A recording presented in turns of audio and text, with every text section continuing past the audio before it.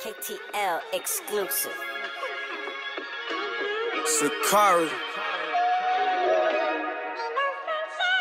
Uh, young was out there. Wasn't so deep, but the waters was not clear. Dose of Babylon created all of the fakes here. But when the meds use it, you know it's a snake here. That's why I couldn't hold most close. Mamas hold tissue, cause on they son the nose blow. Man in perdition has the hood up in a chokehold. My eyes screamed when I saw my aunt on snow cones.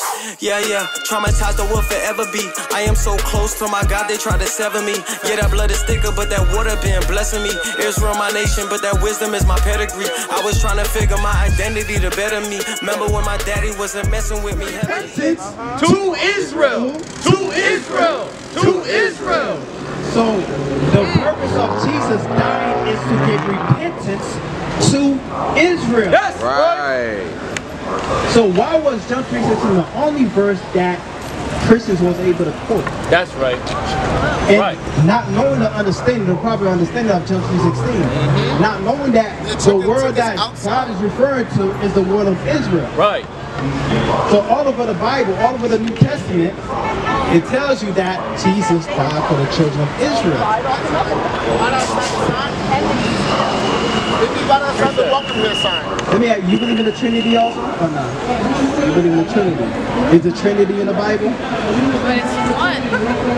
See? You say it's one. It's three, but one.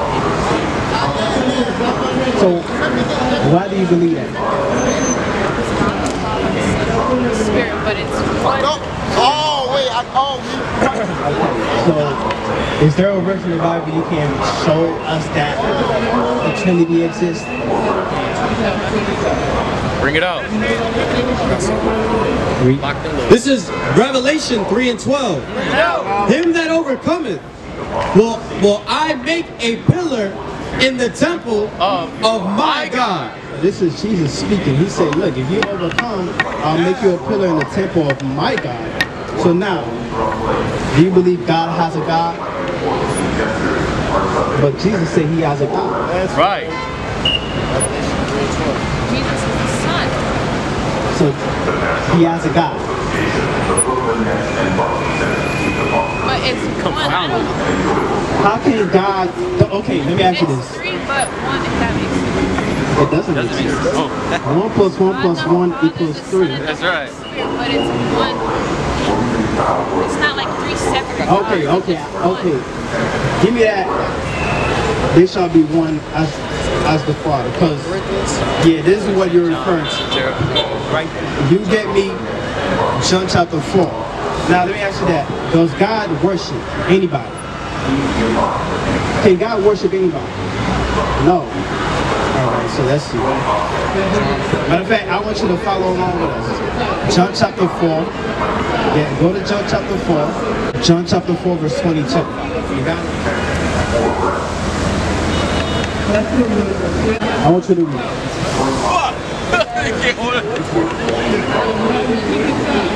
Read it again.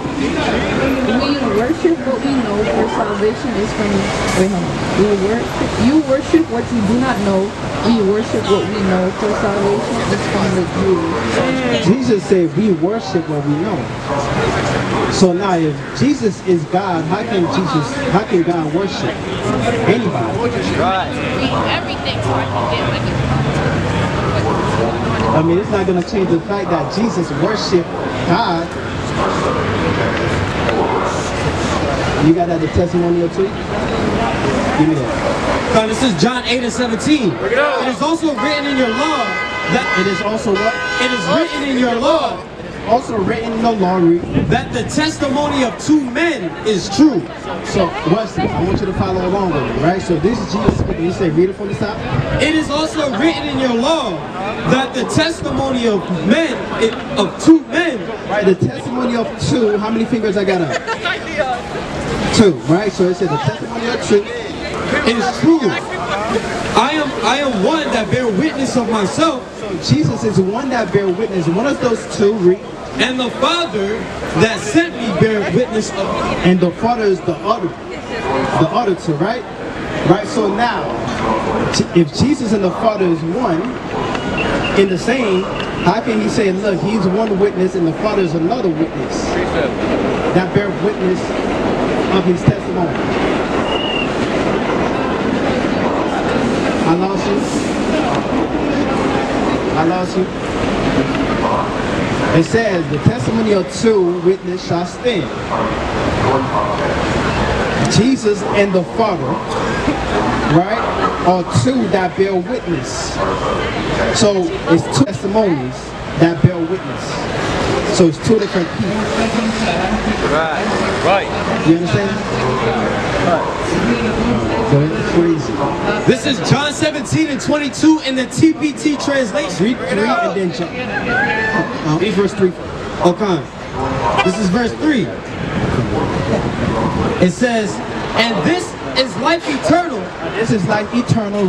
That they may know thee, the, on, the only true God. What? The only true God. What? The only true God. Jesus said God, the Father, is the only true God. That's right. Read. And Jesus whom thou hast sent. The only true God in Jesus, whom he sent. Read. This is verse 22 in the TPT translation.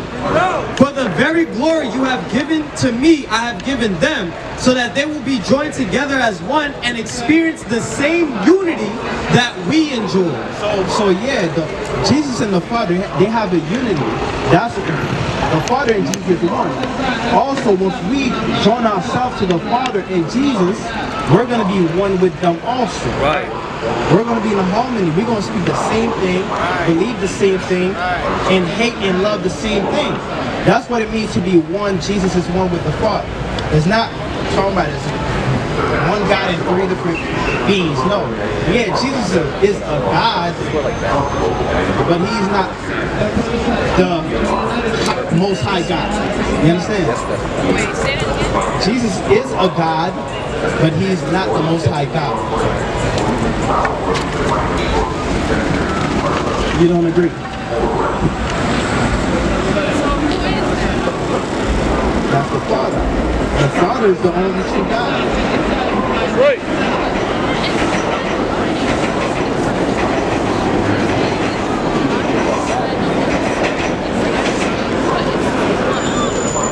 I'm sure it's not like every Fine.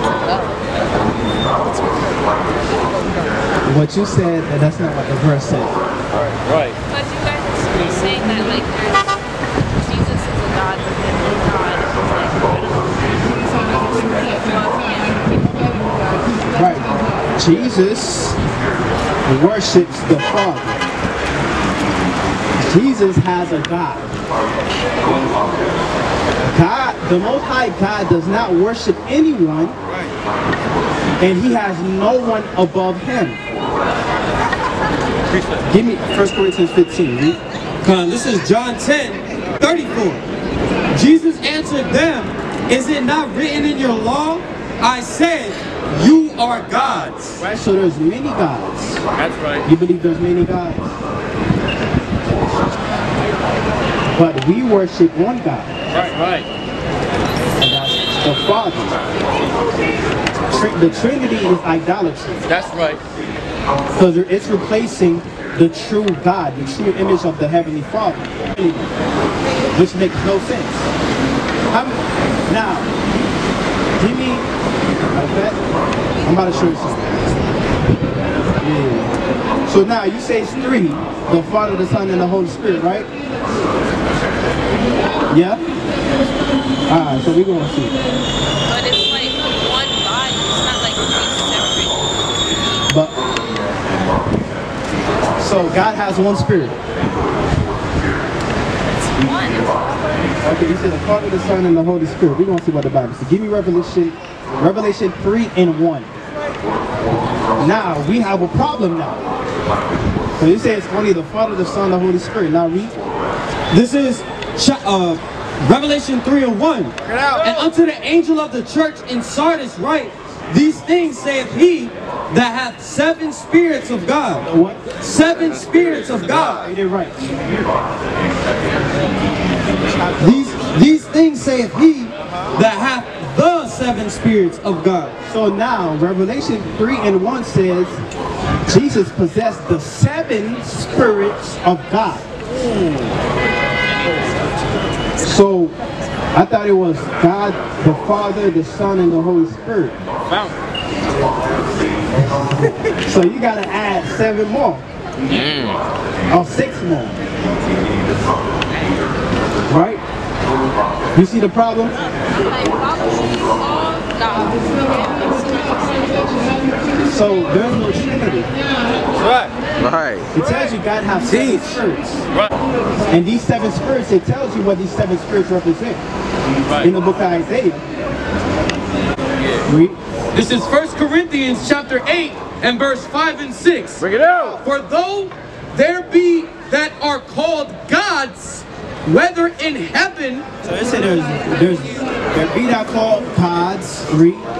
gods in, whether in heaven or in earth, as there be many, as there as there be gods many There's gods many. There's many gods. Read. and lords many, but to us To us there is but one God.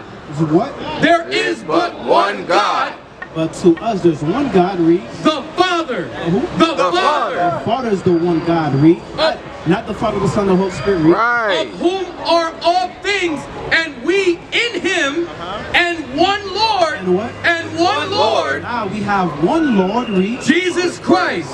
So we have the God the Father and we have a Lord under him that's Jesus. Go ahead. This is John 17 and verse. Did you read it already? 21? Ver- Verse, tw- verse 20, 21. That they all may be one as thou, Father, art in me, and I in thee.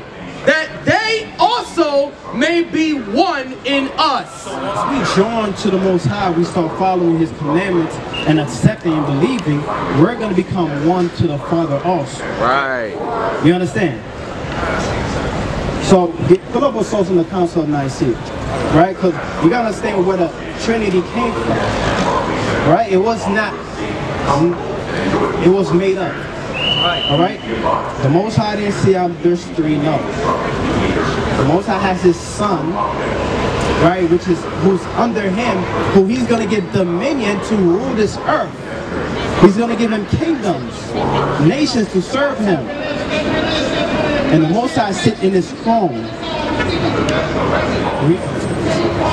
Now this is uh, Judges 20 and 11. So all the men of Israel were gathered against the city, knit together as one man. Right? So if we're in one, the same mind, we're one. Right? Just like all of us up here, we're one. So we speak the same thing. Right? If he speak, that's me speaking. Right? Because you're not gonna say nothing I'm not gonna tell you. Right? So now, you got that first Corinthians 15? So you still believe in the Trinity? Even after these verses came out?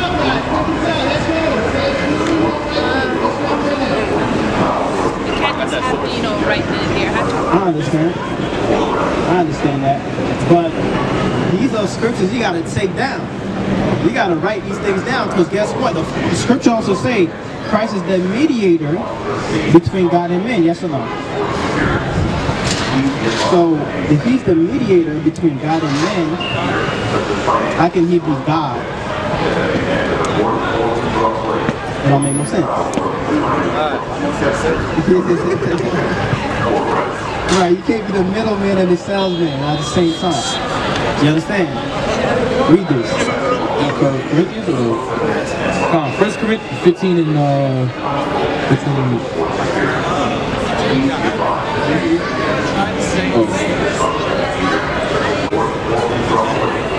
Not 26. God did put all things under him, and when all things shall be subdued un- unto him, then shall the Son also be subject unto him. So after the Most High God put everything under Christ, Christ also gonna be subject to the Most High God.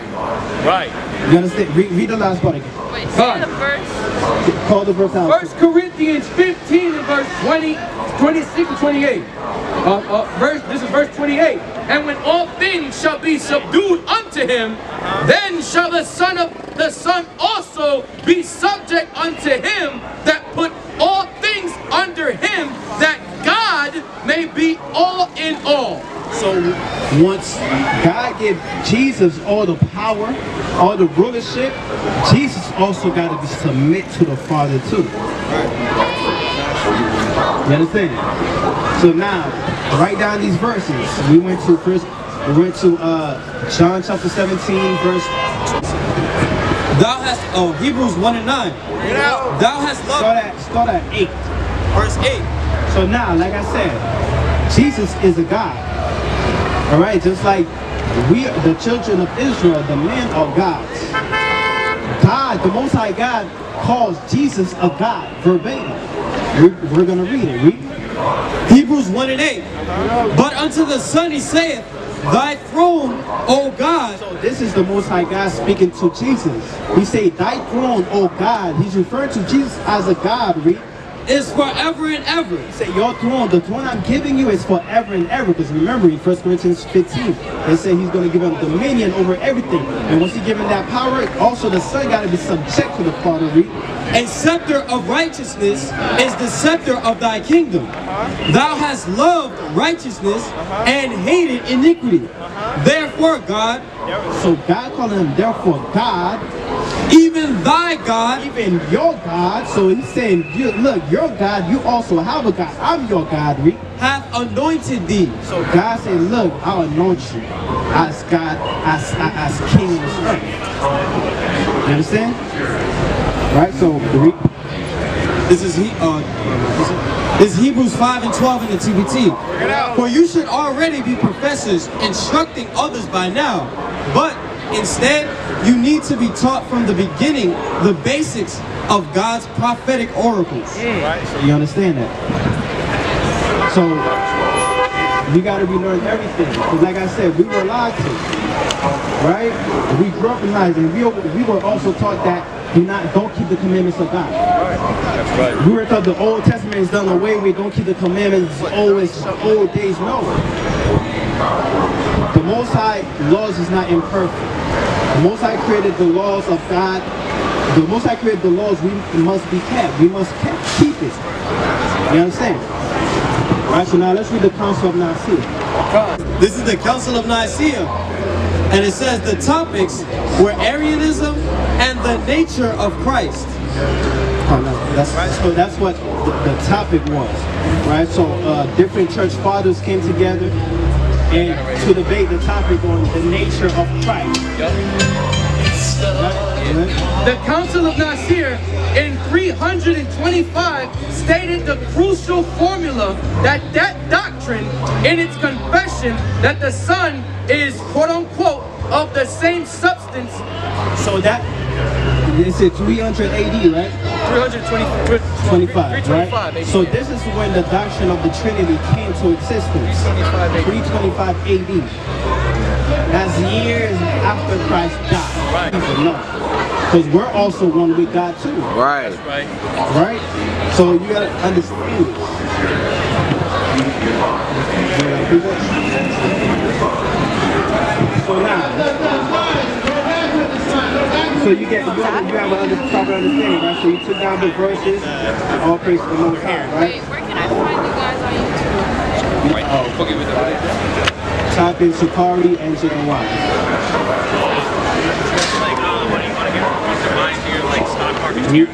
This is Matthew 19 and verse 16. And behold, one came and said unto him, Good master, what good thing shall I do that I may inha- have Read it from the top for her. Read, read.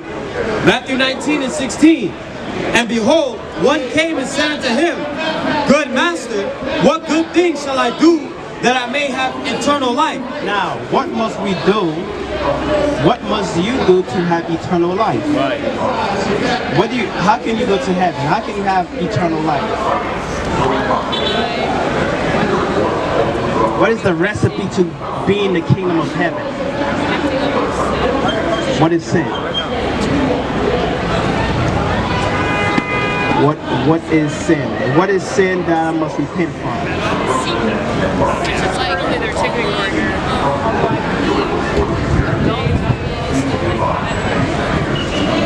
So, according to the Bible, sin is breaking God's law. That's right. Like like you said, adultery is also against God's laws, right? Right. So this is the definition of sin. Read. First John 3 and 4. Whosoever commits sin, transgress also the law. For sin is the transgression of the law. Sin is the transgression of God's law. Breaking God's laws, that's what sin is. And where are the laws of God found? Right? Mainly the first five books. That's right. Right? So these are the laws we must get. Right. Right? All of them. Not some, not not a few, not what we feel like, not what the church tell us to do. Right. But but all of them. could have been in no way. We sing the gospel, not talking Kurt Frank. It's about God at the end of the day. We working. I tell you, man, I tell you, man, it's worth it. Yeah, we working. I tell you, man, I tell you, man, it's worth it. Whoa, whoa, it's a car in the building. Uh, we ain't sorry.